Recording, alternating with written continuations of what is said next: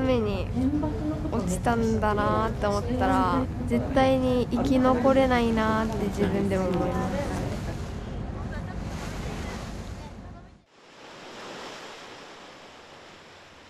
先月宮崎県で行われた沖縄の児童による戦時中の学童疎開の追体験。対馬丸記念会の主催で3日間にわたって疎開した学童の足跡をたどり当時を知る人の証言などを聞きました。昼休みになりますと疎開生の皆さんはそーっと出ていきます。なぜか弁当を持ってきてないんです。3日間の食事は疎開した学童が食べていたものを再現したヤーサン飯ですずっとこういうなんか野菜系食べてたら他のも食べたいってなっちゃうし、はい、当時の学童と同じように親元を離れ平和とは何かを考えた疎開体験に密着しました。おかえり。おかえり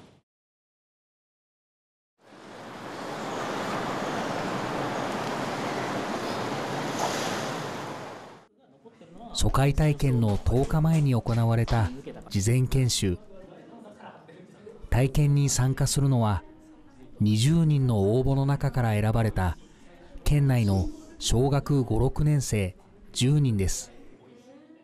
疎開先のこととか疎開でやってたこととかを知りたいなって思って参加しました。対馬丸についてはニュースでしか分からなかったから自分の体験で実際調べたかったから入ろうと思いました。学童疎開船対馬丸。1944年8月。疎開先の長崎へ向かう途中アメリカ軍の魚雷攻撃を受けて沈没し学童784人を含む1484人が犠牲となりました。この日の研修で自らの体験を語ったのは当時4歳で対馬丸に乗船していた宝正勝さんです。海に投げ出されましてそれで二晩3日ずっと海に浸かったという経験があります。当時4歳だったんでね私の親父がずっと抱いていたんでね。私を救助船に渡すと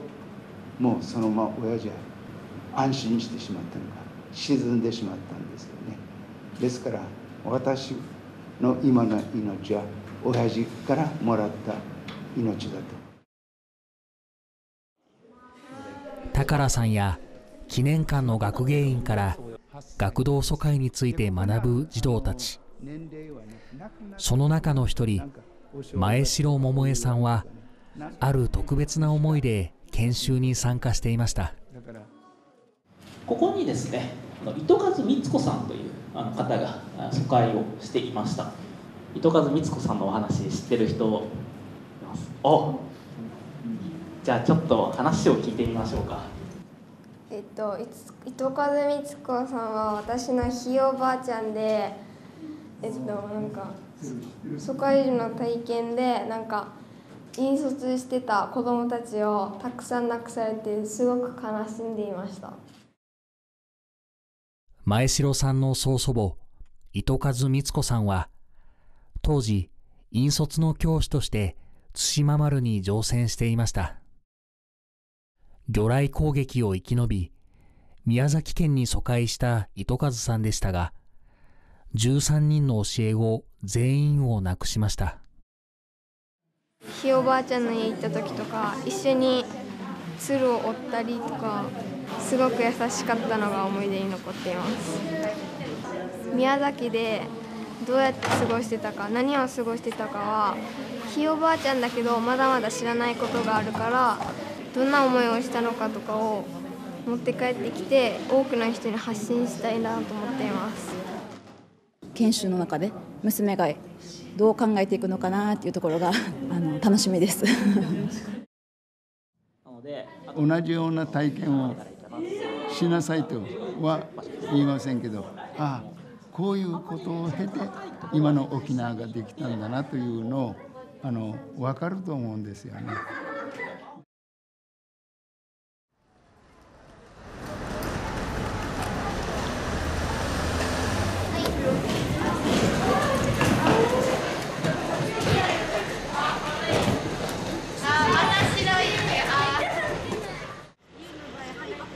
鹿児島空港に到着した10人の児童これから3日間宮崎県で当時の疎開先を巡ります。今皆さんの向かって右手側に見えている小学校があるんですが対馬丸で生き残った那覇国民学校の2 5 6名の子どもたちと引率の先生たちがここで生活していました。児童たちが最初に訪れた宮崎県えびの市には当時沖縄から対馬丸の生存者を含む360人が疎開しました。学童疎開の子どもたちが格闘地区に来た頃もね寒くて靴下もないし靴もないし、まあ、学校も違うしお友達も違うし仲間も違うし、まあ、勉強もねまあね大変だったろうと思います。対馬丸に乗船した前城さんの曽祖母糸数光子さんも海老野市へと身を寄せていました。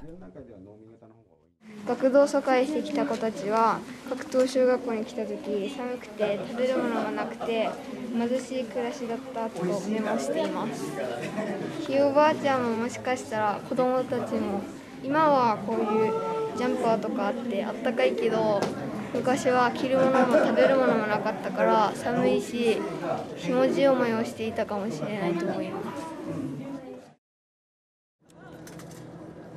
こうして始まった学童疎開の追体験。児童たちはこれからどんな体験を経て何を感じるのでしょうか。